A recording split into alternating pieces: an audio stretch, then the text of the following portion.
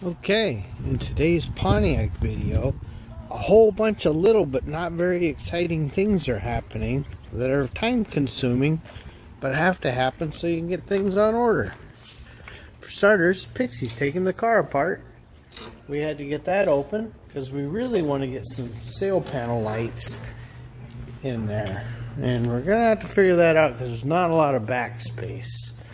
One of the other major things that we sorted out is we're not going to feed hoses through that wall. We are going to do one of the bulkheads. So we've identified a bulkhead and the connectors. We've ordered our tool for the hoses. Um, oh yeah, going through documents, figuring that out. The other giant thing that has happened so far, and of course we've, I didn't think to take a video while we were doing it, is we had the backup camera uh, working on the bench so we could figure out exactly how it was triggered and how it all worked and what it looked like because he's going to design a console to go just forward of that shifter location and then back up under so that he has a backup camera because this thing is kind of a beast and the mirrors in this generation not the greatest. So that will help him out quite a bit. So that's part of what we have gotten done so far today. Um, there will be more updates. So yeah, unfortunately it doesn't look like anything, but you know, you gotta spend the time sitting and talking about it. But yeah, and I've talked him into getting Buick style sail panel lights because I think it's gonna fit the vibe that that we're going with.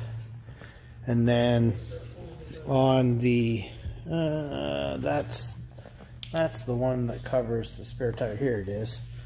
So it's most likely going to be uh, right down on the end down here. There's not a lot of room. The wheel well is there. So we'll get that sorted out. That's going to be really really nice.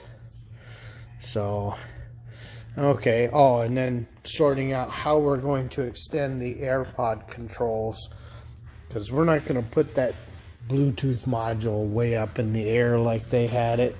We're going to move it and it'll be part of that front console. So, oh, Shop Dog. Shop Dog is here supervising, of course. Yeah, so we've got to integrate this into that front console as well because you do occasionally still need to be able to hook up a laptop so we can't bury it. So he's gonna work that out on his learning how to fiberglass. Bye shop dog shop dog isn't into all this high-tech uh, CAD design work we're doing. So we're doing two bits of uh, cardboard aided design right now. He's working on the profile for his console and I'm starting to work out the locations for the AC to hang. And then a trick, because apparently not everybody knew that, if you want to know where holes are, you put your material up, and then you just paint. And now when I take this cardboard down, I'll know exactly where all those holes are.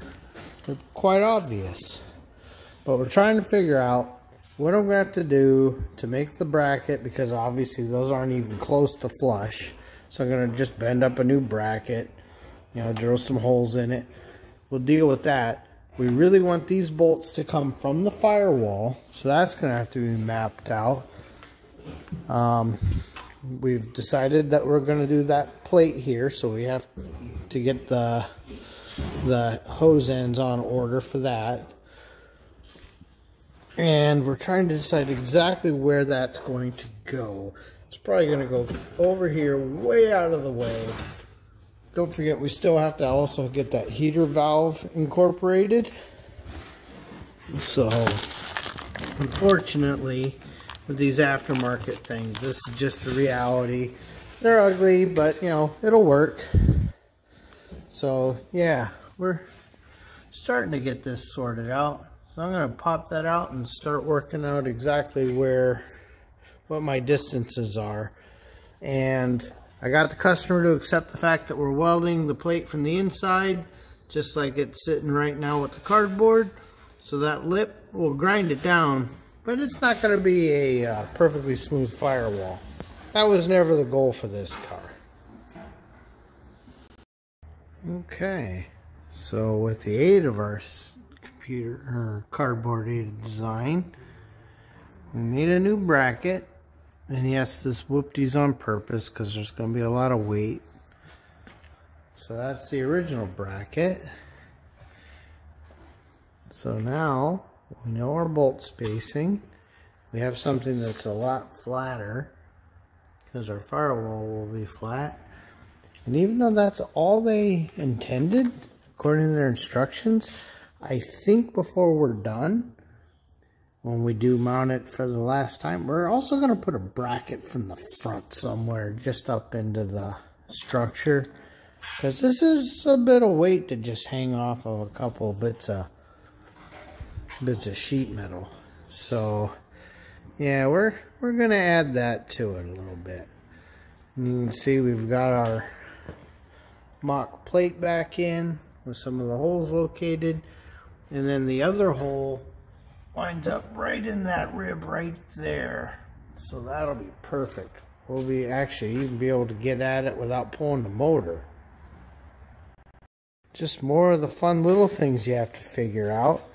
Here is the factory defrost vent with the two location holes that we'd like to reuse. We also really would like to use those spreaders, but the rest of this obviously we can't. This is the the generic vents, you know, with a standard inlet. We can probably come up with a way to epoxy those just below those vents, make that one piece so we can still use the hoses, leave enough of this structure, and then maybe build a piece across here, and then we can chop that off.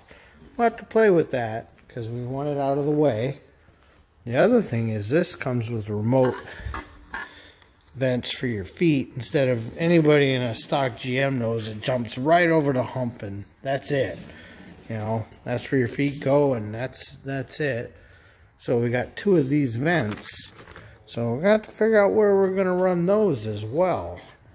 So yeah, it gives us a little couple options. Well, I almost forgot to end this video. We had an unusual afternoon. There's secondary shop dog, primary shop dog. So, on today's Pontiac video, we mostly worked on the 69 Camaro, which is in the other shop. Um, did a lot of cardboard aided design, trying to work out how some of the air conditioning stuff's actually going to mount. Diesel and Pixie spent a lot of time playing with cardboard, building up the uh, center console that they're going to do that has the backup camera monitor in it, uh, some cup holders, some places to put their cell phones, and, and some charger ports.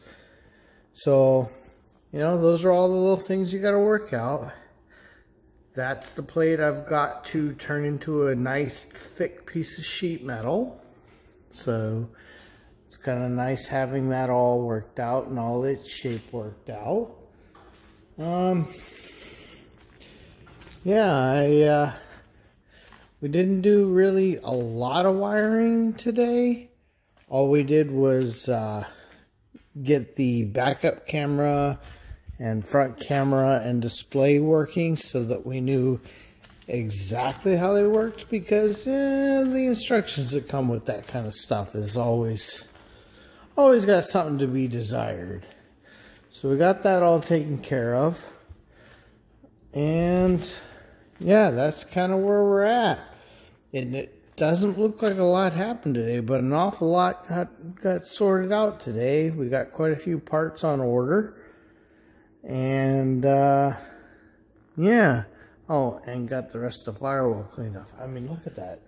It looks brand new. It looks like they just freaking pressed that and painted it the, uh, Tuesday. It looks gorgeous. Yeah, when you live in Minnesota, a car like this that's this solid, it's just, it's a rare and wonderful thing. You know? I realize in the south you see a little bit of, of surface rust and you freak out, but up here, oh, that's nothing. When all the bolts come out, that's a wonderful, wonderful thing. So, that's where we are. And now I remembered to end the video. So I'll put this up for the people that have been waiting for Pontiac videos. But no, nothing, nothing real crazy has happened. You know, not a lot that anybody can see. Although the covers are off because we are going to get some sail panel lights in there and some connectors for speakers. Unfortunately, we're we're not going to have room to get the speakers even once in there. So we will have some connectors that he can plug the speakers into and he can do some separate boxes. Um, although the subwoofer in the well, he's got that all sorted out and we're currently storing it in the Impala because it's got to be somewhere safe. So if I come around, so he's got his subwoofer mounted on the board, and there's the amplifiers, the exact same ones we used in in Sweet Pea. So yeah, he did a nice job. It's all feathered around.